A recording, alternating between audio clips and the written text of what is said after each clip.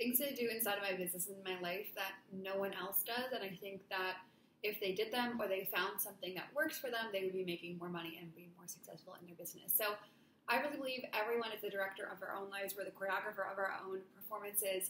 So take what I say and don't copy, but find your own thing. And if you don't know me, I'm Bridget James. I own a multi six figure business. I built it to 700,000 in revenue in less than two years, and I'm so excited to that you're here with me today. If you are watching, make sure that you subscribe, like, do all the things so I know who you are. So I'm kind of harsh in my views, meaning that I don't subscribe to what majority of society says. So if we disagree on certain things, that's okay. I think it's very important for us to disagree. Okay, first thing is that I don't listen to the news, I don't listen to the government, I don't listen to anything that they're telling me. Coming from a background where I lived in New York City and I was like, uh, I was like, yes, Biden, so excited. I like believed everything in the news, all the headlines. I was in New York City in 2020 living there, so everything like the world was just in shambles and New York City was crazy and I just listened to everything that was around me and I never took a minute to just think what are my own personal views about what's going on in the world. And once I left the states and I started traveling, I remember one day I was in Costa Rica. It was like my first week in Costa Rica, and I was out in the water, and this guy who was Canadian, he was like, "Oh yeah, like I don't believe what's going on in the world." And I remember just being like, hmm, "Like okay, that's interesting. Like you know, I, I don't really care. Like you can think whatever you want to think." But it was fascinating because in New York City, everyone was like, everyone had one sort of belief. So as I left the United States, I started to discover what my own beliefs are and what I think of the world, what I think true to my heart that I had denied for so long. I, I had been just kind of like a sponge listening to everyone else in the world and what their beliefs were and how I had to behave. And once I realized that, oh, wait, I think differently than most of you, it felt so freeing. It felt like, oh, like I finally know who Bridget James Ling is. I finally can go back to her, which I feel like I was her when I was younger, but then I started to kind of get consumed by so many other people. And I'm sure I, I know I still am today, but it's so much nicer to be able to just say my own opinion of what I believe and know that it's mine. So, number one, I definitely don't listen to the news or anything that's going on in the world. Um, I just don't believe it. I was just in the States for the holidays and seeing people live, you know, normal lifestyles is just so affirming that that's not anything remotely close to what I want to do. Like the traditional, like get married, get the house, work the same job forever, retire. All of it is just not for me. And being in the States, I really recognize that and realize that. Also, being in the States, you're so you can consume so easily. Like we were in Colorado and we went to this really nice mall. If you've ever been to Denver, they have a beautiful mall and it's like all designer stuff on the second floor. And I, if I lived there, I would spend so much money. I would probably go shopping all the time. Even when we were in the States, we had access to Amazon. And so I was able to order like so many different things that I needed, but I didn't really need because when I was in Costa Rica, or I'm in Thailand right now, like I couldn't get those things. So it's really fascinating how accessible shopping and consumerism is in the States. So I try and stay away from that as much as possible. Even living in Thailand now, like because we have our own place here now, we can get stuff shipped here. So I'm I'm still finding myself wanting to ship more things. Um, still not a lot of stuff, but it's a little bit more than usual, and I think it's really interesting. So I'm just really aware of that. Like, how much am I consuming? How much am I taking in? Am I buying? Am I spending? I'm I'll spend thousands of dollars on in myself. Like I just invested fifty thousand dollars in a mentorship in a mastermind like that, and like that stuff to me is so much more important than investing in like stuff like objects and things. So these were a gift. actually, these were a gift. This was a gift. This isn't mine. This is actually really funny. I think the only thing I'm wearing that I paid for was my hair clip, which is crazy. And actually, I am wearing Fenty lipstick, and that was also given to me. and some makeup that I purchased. But it's actually just really fascinating to to look at. So I don't like consumerism. I do believe in investing in yourself. I think that's the most important thing that we can do. And of course, I believe in like wearing nice clothes and dressing up, but I don't spend a lot of money on like crazy, crazy things. I think as my business grows, as my wealth consciousness grows, I'll definitely spend more money. But when it comes to spending, I'll spend it on business class tickets, on we live in a four story, four bedroom luxury villa in Thailand. We have cleaning people, we have a private driver. Like we do these things more for experiences. We have a personal trainer. She also cooks for us. Like I would so much rather spend all my money on that stuff than like objects and things that aren't going to bring me in joy and life and ease. So those are some of the things that I my beliefs around investing and spending and consumerism. Also, when it comes to um, like taking care of myself, I've always believed that you can heal through mindset work, through God, through drinking more water, through eating healthy, through moving your body. So when I look at people that are really unwell, it's usually like I, I just go back to the basics. I'm like, well, are you working out daily? No. Are you eating crap? Yes. What are your inner thoughts? Who are you hanging out with? What are you consuming? And usually, if you shift those things, it's you can make a very quick, you can see a very big shift in their life whether it's weight loss or feeling happier or whatever. It's just uh, it's just going back to the basics, and that's what it is for business too. So in my business, I make sure that I'm posting every day. Like I am posting every day on TikTok, minimum three times per day. I do once per day on Instagram because I find that that is the the sweet sauce, the sweet sauce, the sweet spot for if you like that sweet sauce, comment sweet sauce below. It, um, for Instagram, I found that it's one very like good, high quality content on Instagram every single day, and then three times is more about quality and quantity on TikTok. So I do three times per day on TikTok. And so showing up every day, I mean, that's like the baseline. If you're not showing up every day on social media, that's the number one thing that you should fix. And you should start getting into is every single day posting content. If you're not running ads, you have to build an organic foundation. I think if you're not building an organic foundation, you're shooting yourself in the foot. Because I think social media is an it's just an unmatched opportunity. It's free for us to post on. I'm building an audience with thousands of people. I'm building a personal brand that's going to last me for my entire life. Like people like I don't like organic content. It's like I could not care less. Like that is your problem. Fig- figure it out. Like start posting, start building an audience. I don't care that you don't like making content. I feel like the what I'm building is so much bigger than just like, oh, I'm posting on social media and people DM me and I change their lives and it's amazing. It's like this thing, this it's almost like an organism that lives on the digital land is growing on its own. Like we have 7,000 followers on Instagram now. That's going to be 8,000 soon. TikTok, we're almost at 70,000. Like it's growing on its own now.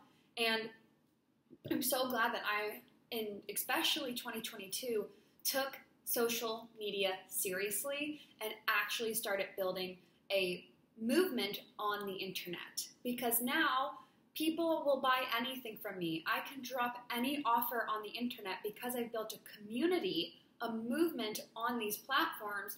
People, I could drop like headphones, Freedom Queen headphones, and people would buy them because they're interested in that. And I see so many people, they're like running ads or they're posting to just try and make a sale. But if you thought long term success, you would do so well if you started showing up consistently. And so being consistent every day is something I'm willing to do that most people aren't willing to do. I also sell every day. I sold every day in like at the end, mid, like June, no, I would say July to the end of the year, I sold every day. And that's, there's no wonder that the end of the year of 2022 was just massive. We did two six figure sales months and almost 100K cash months and multiple 50 to 60K cash months. And that was after we were doing 20 to 30K cash months simply by selling more. So that was a huge lesson for me in 2022, and something that I'm taking into this year is selling more, like selling more offers, talking about my offers more. And it's crazy. Now I just have people enrolling in our micro programs all the time, our membership every day, people DMing me to apply for our masterminds. Like people are wanting to join all these spaces just because I'm talking about them more. My Instagram stories are now solely for selling. Like that's all I'm doing on my Instagram stories is just selling my face off, talking about my offers, and people love it. And I give them some behind the scenes, a lot of social proof, uh, client results, and then my feed is like reserved for all of the um, teachings of me, who I am, educational content, polarized content, my opinion, Freedom Queen movement energy. So that's the way that I'm selling.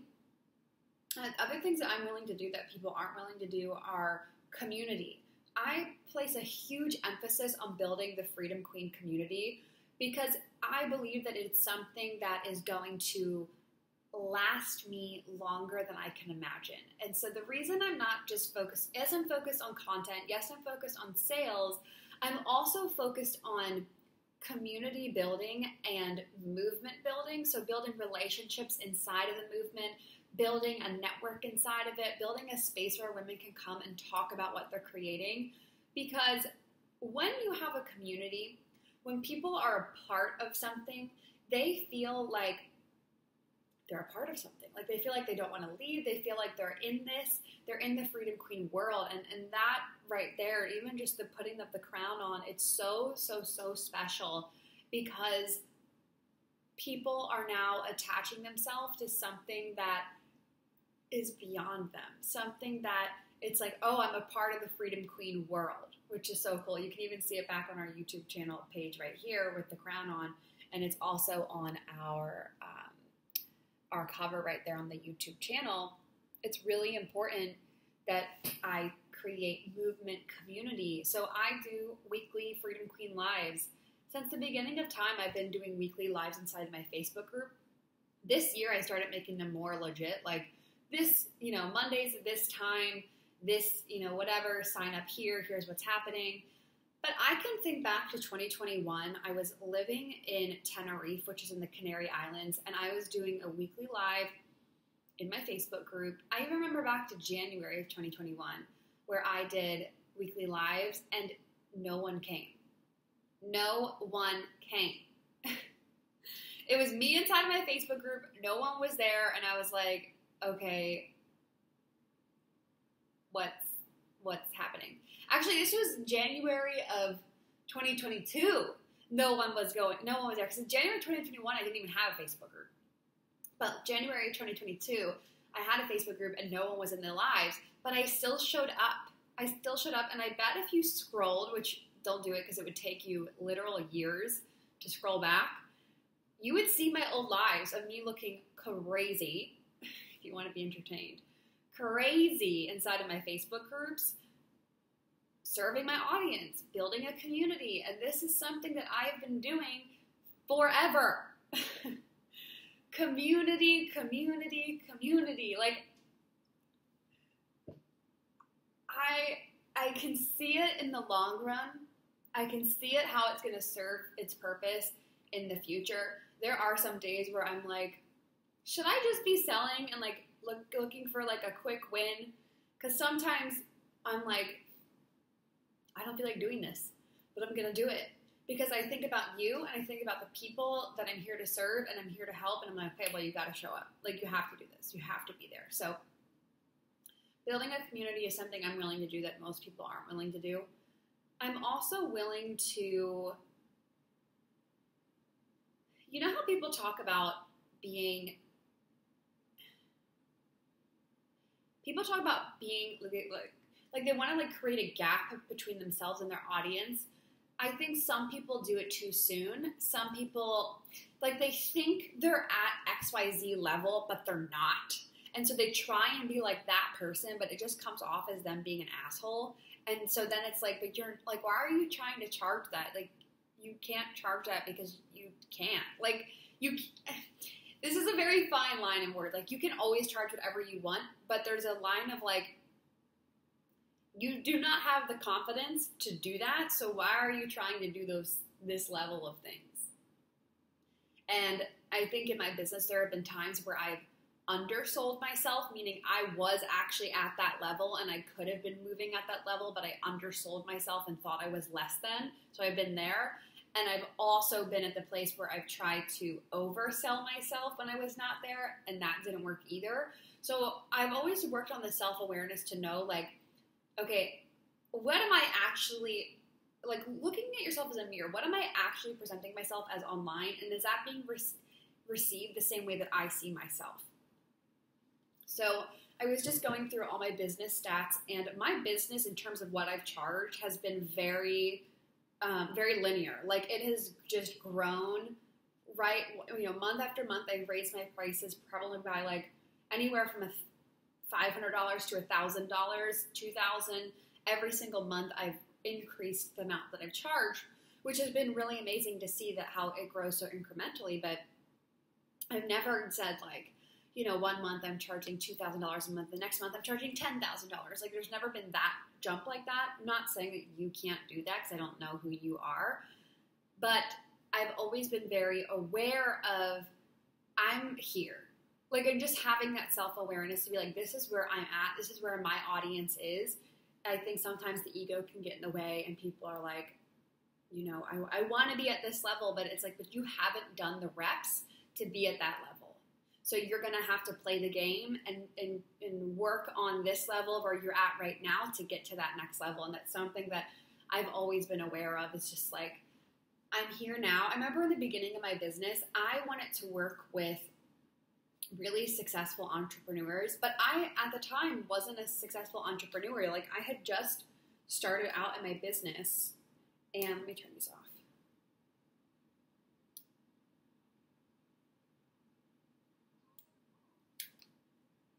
I had just started out in my business and people didn't know me. And so I was willing to kind of like roll up my sleeves and get in there. I remember the very beginning of my business, I partnered with this company who was doing online classes, and I charged a dollar, one dollar for 30 minutes with me. And I did it with three people just so I could get testimonials.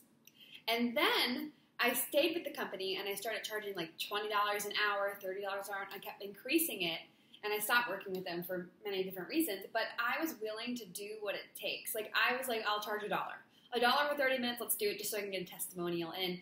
and people loved it, and some of those people ended up being private clients and staying with me, and some of them, thank God, they did not continue on with me because it was literally a train wreck. But I'm so glad. Like that's what I say, self awareness. I was willing to kind of recognize where I was and what I had to do. And I think a lot of people just kind of expect their business to come easily to them when it's not. It, it requires a lot of work. But I've always really loved the game and I really enjoyed doing this this type of work. So, you know, community, selling every day, posting every day, being willing to look like the newbie, the humble person. I remember in ballet, I used to always do this. Like, I would go take really beginner level ballet classes, and people would always be like, "Why are you doing that? You're you're the top you're one of the top dancers, and I would just be like, because I want to go back to the basics. Like there's there's nothing better than just going back to the basics. Making money is so easy, but most people they don't want to do the basic stuff like posting, selling, the inner work, investing. It's really not that hard, especially in the coaching industry if you're in that. Um, other things I'm willing to do is deliver, show up for my audience. Like it's I don't even know what time it is in Thailand. It's 11. Wow, it's so early still. It's 11:17 in Thailand and I've already done so much inside of my business and served and I already went live on Instagram this morning at like 7 a.m. I went live on Instagram for an hour and then I last night I posted and I post before bed because it gets the most engagement then because it's Eastern Standard Time morning. It got 300 likes. Like I spent a lot of time on that post.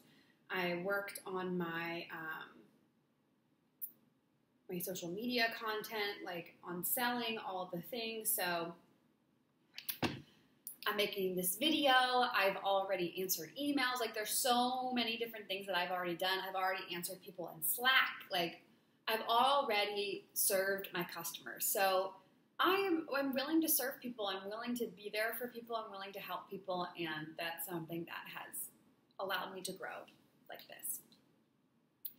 Um, I'm also willing to look at my gaps and, and use them as fuel instead of something that brings me down. So if there's something that maybe triggers me or upsets me in my business, I'm just like, you know what? I'm going to use this as fuel to make me go even further inside of my business and my life, and it always does. So these are some of the things. Put your aha moments below. I would love to hear them. Make sure that you subscribe to the channel. Just click below, subscribe. You can also hit the little alarm button, and that will give you notifications for when I'm posting so that you can get access to all these trainings. If you have any questions or, or videos that you would like me to do trainings on, I'm happy to uh, create them for you.